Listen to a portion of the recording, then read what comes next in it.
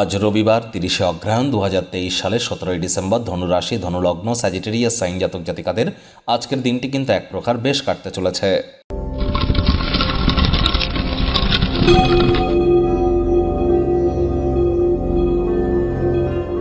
ভিডিওটি শুরুতেই স্ক্রিনে আপনারা দেখতে পাচ্ছেন সূর্যদেবের প্রণাম মন্ত্র।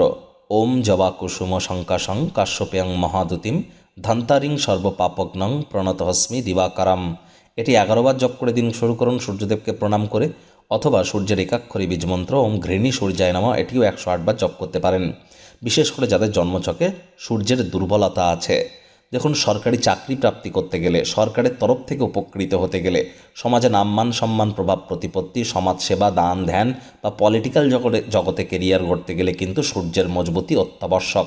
লিডারশিপ স্কিল ম্যানেজমেন্ট কোয়ালিটির জন্য সূর্যের মজবুতি অত্যাবশ্যক। না থেকে থাকলে এই মন্ত্রগুলি জপ করুন, উপকৃত হবেন। রবিবার ছুটির দিন যদি বাড়িতেই থাকেন আয়েস আমোদ, প্রমোদ বিনোদনের মাধ্যমে কাটান, আসছে সপ্তাহের জন্য শক্তি সঞ্চয় করতে পারবেন। এই যে আগত বছর দু হাজার চব্বিশকে নিউমারোলজি ওয়াইজ যদি ক্যালকুলেট করেন, two plus two plus four is equal to eight, অর্থাৎ শনির বছর। প্রতি আট বছর অন্তর এই বছরটি ব্যাক আসে। এক্সেপশনাল, ব্যতিক্রমী, গুরুত্বপূর্ণ একটি বছর। আর এই দু হাজার চব্বিশ সাল আপনার ঠিক কেমন অতিবাহিত হবে?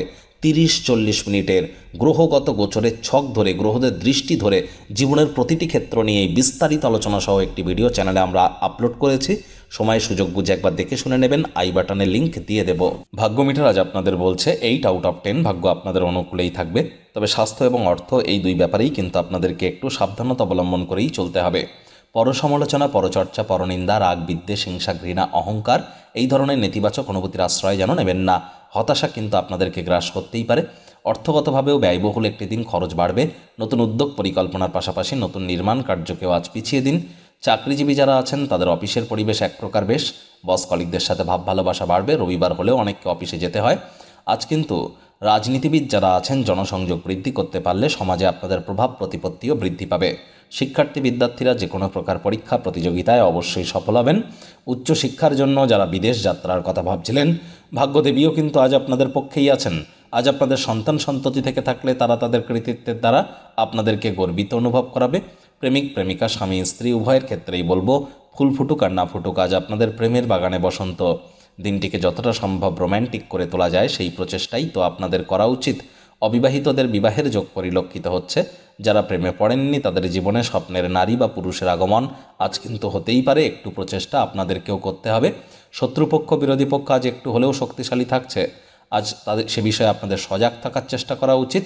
কারোর সাথে মুখোমুখি সংঘাতে যেন জড়িয়ে পড়বেন না। প্রয়োজনে বন্ধুবান্ধবদের সাহায্য নিন। আজ কিন্তু নিজের জন্য একটু সময় বার করুন। আর সেই সময়টিতে ব্যক্তিত্বের মূল্যায়ন করতে ভুলবেন না। আপনার কিন্তু অনেক যোগ্যতা আছে, যা আপনাকে মানুষের মধ্যে প্রশংসার যোগ্য করে তুলবে। কারণ আপনারা বৃহস্পতির রাশি দেবগুরু বৃহস্পতির রাশি আপনার নিজের যে সুপ্ত প্রতিভা সেটিকে সঠিক ওয়েতে আপনি যদি ইউটিলাইজ করতে পারেন, সমাজে শুধু নামমান সম্মান প্রভাব প্রতিপত্তি নয়, আপনি জীবনে অনেক কিছু করতে পারেন। এর জন্য আপনার জন্মছকে বৃহস্পতির মজবুতিও কিন্তু অত্যন্ত গুরুত্বপূর্ণ। আসছে বছর আপনাদের জন্য অনেকটা ভালো সময় আনতে চলেছে।